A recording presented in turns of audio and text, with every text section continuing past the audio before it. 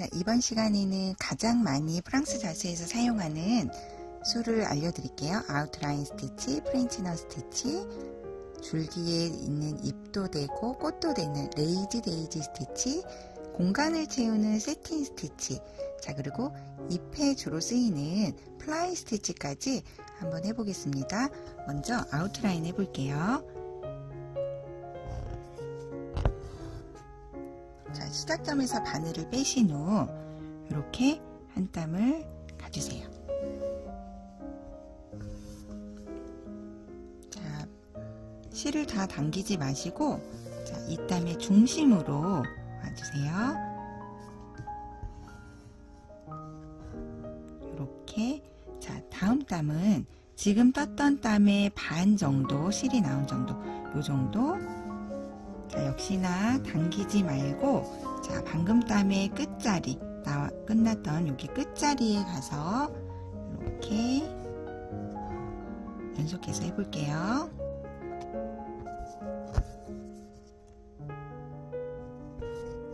자, 이렇게 해서 바늘을 위에 아래로 up down 하는 방식이 있고요. 저 같은 경우에는 이렇게 가로로 이렇게 한 땀 뜨는 걸 좋아하거든요.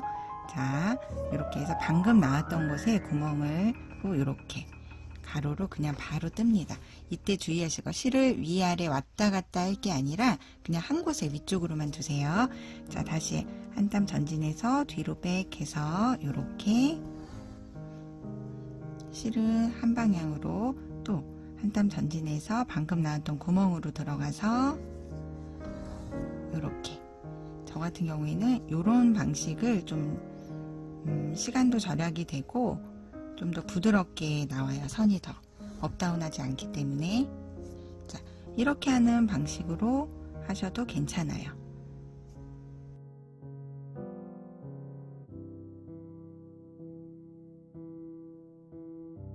자 끝날 때는 요 구멍으로 여기 들어가시면 이렇게 outline 기본 라인을 할 땐 이렇게 하시면 됩니다. 다음은 French knot입니다.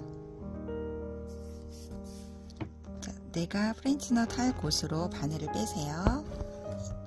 자, 그리고 이렇게 한 번, 두 번 바늘에 감아주세요, 실을.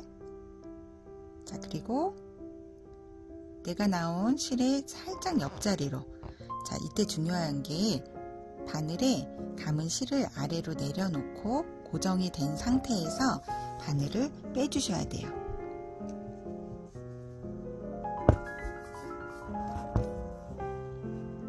이렇게 하면은 땡글땡글한 모양이 잡혀있죠? 한 번 더 반복해 볼게요.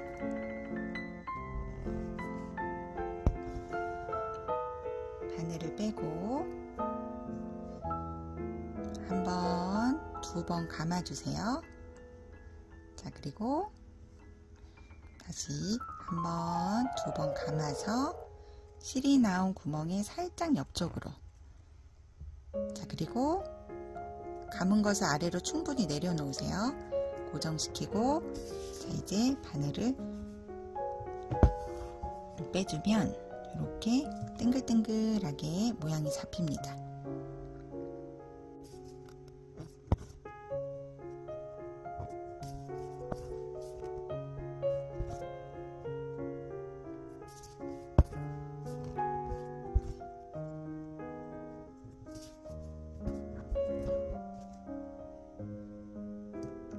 이렇게 프렌치 넛으로 꽃 모양을 한번 만들어 봤어요. 다음은 레이지 데이지입니다. 자, 줄기를 먼저 해볼게요. 백스티치로 줄기를 한번 해볼게요. 백스티치로 자, 백스티치는 시작점에서 하지 않고 한 땀 다음에서 시작해요. 자, 뒤로 백 다시 앞으로 갔다가 뒤로 백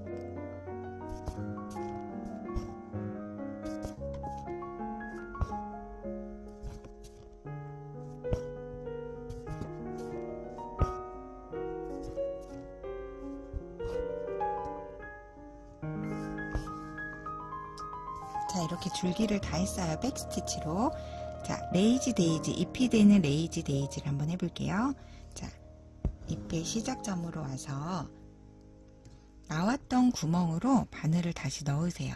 그리고 내가 원하는 방향과 길이로 한 땀을 이렇게 뜨세요. 자, 여기 있는 실은 바늘의 아래를 감싸주세요. 이렇게 자, 쭉 빼내면 이렇게 잎 모양이 잡혔죠? 잎이니까 끝을 조금 뾰족하게 멀리 나가주세요. 멀리 나가서 자, 잎이 뾰족해졌죠? 반복해 볼게요. 잎이 시작되는 곳으로 바늘이 나왔어요. 자, 실이 나온 그 구멍으로 들어가서 자, 내가 원하는 방향과 길이대로 한 땀을 뜨세요. 자, 이 실은 바늘의 아래쪽으로 자, 이렇게 하면은 둥근 고리가 하나 생겼어요. 자, 고리 안에 있는 실을 고리 밖으로 조금 멀리 뺄게요. 왜냐면 잎이니까 끝이 좀 뾰족하게 보이는 게 예쁘겠죠? 이렇게 해주면 이 뾰족뾰족한 끝이 잎 모양을 살려줘요. 같은 방식으로 꽃잎을 한번 해보겠습니다. 꽃잎은 끝이 둥근 게 특징이죠. 짧게 끝내시면 돼요. 이를 짧게 끝내시면 됩니다.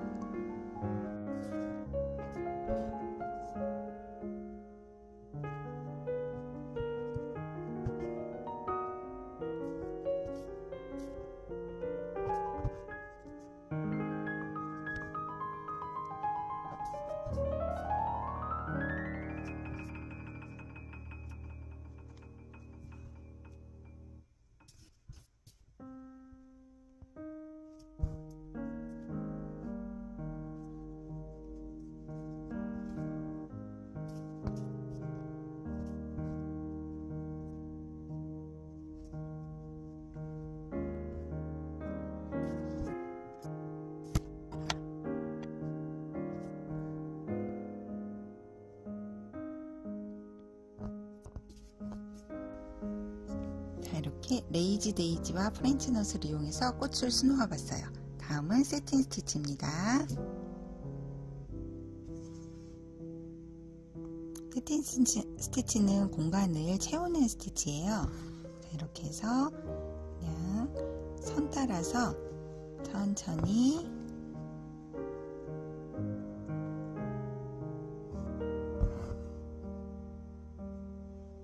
공간을 채우시면 됩니다.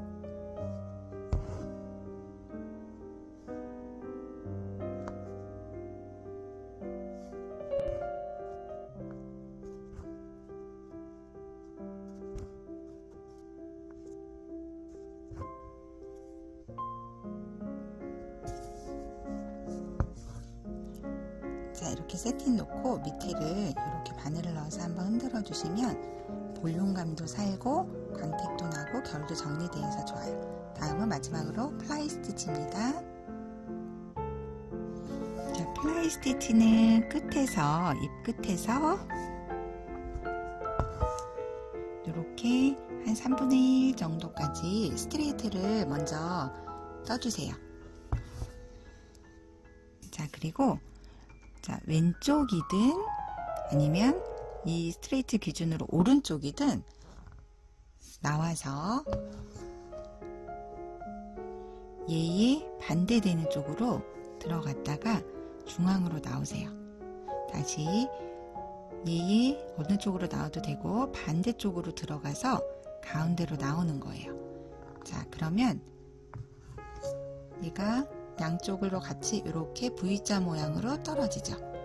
자, 이때 살짝 아래로 가서 들어가지고 자, 이번에는 왼쪽으로 가볼까요? 왼쪽으로 선 따라서 도안 따라서 갔다가 어디로 가죠? 이번에는 자, 얘의 반대쪽으로 갔다가 어디로 나와요? 중앙으로 중앙으로 이렇게 자 그러면 실은 항상 바늘의 아래쪽에 빼보면 V자로 같이 양쪽이 이렇게 채워지죠. 이게 바로 플라이 스티치입니다.